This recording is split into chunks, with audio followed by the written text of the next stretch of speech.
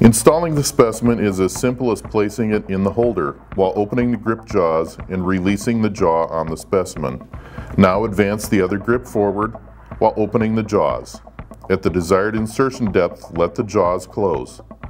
Tighten the preload screw on each grip and tighten the locking bridge screws. The specimen is now installed in the grips and it is properly preloaded. The grips and jig are ready to be installed into the load frame. With the load frame active and the actuator held in position control, install the upper grip of the grip and jig assembly into the upper clevis and insert the pin. Raise the actuator in stroke control until the lower grip is inserted into the 646 grip.